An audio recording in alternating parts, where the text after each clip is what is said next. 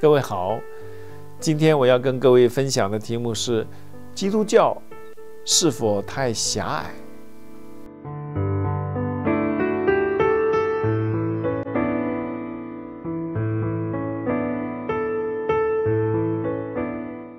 有些人批评基督教太狭隘了，以为只有信仰耶稣基督才是回归上帝的唯一道路。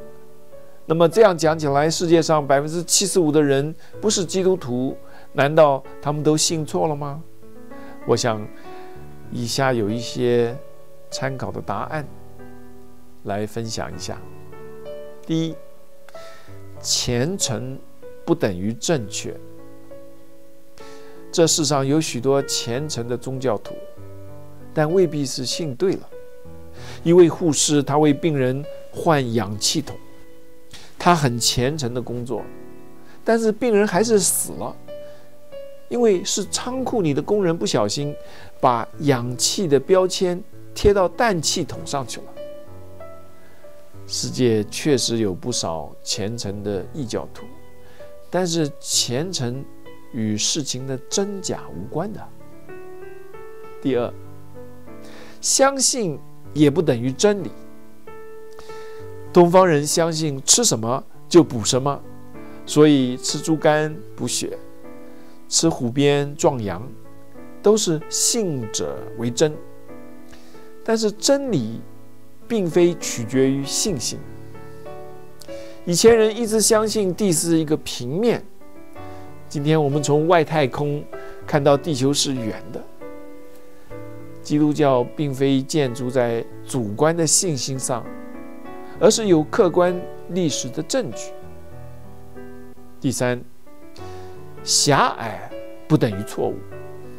你看，飞机一定要降落在跑道上，而不是降落在高速公路上。开汽车一定要有加汽油。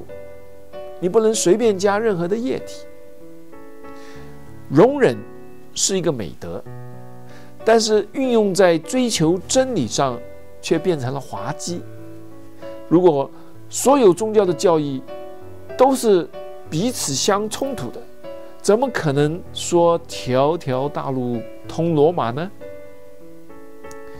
第四，圣经并没有给我们任何妥协的余地。耶稣他说：“若不借着我，没有人能到天父那里去。”他又说：“人看见我，就像是看见了父。”这一种耶稣非常独断的宣告，完全不同于其他宗教的教主的教导。他们总是说找寻一个真理、回归神的办法，但是耶稣却说：“我就是神。”这是何等的不一样！第五，必须面对的选择。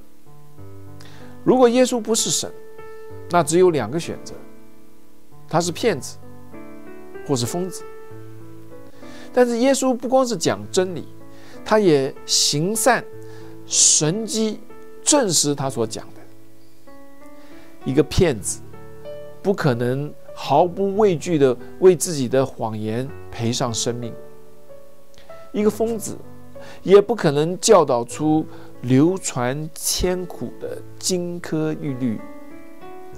耶稣既不是骗子，也不是疯子，那只有一种可能性：他是真的神的儿子。如果人类以其他的方法可以进天堂，那么耶稣的死。就是最大的悲剧，他的复活也成了最大的骗局。所以，问题的症结并非基督教是否狭隘，而是在于基督的信仰是否正确。这是每一个怀疑者自己要去好好去寻求尝试的，因为唯有亲身的体验才是最好的证明。愿意神祝福你，谢谢。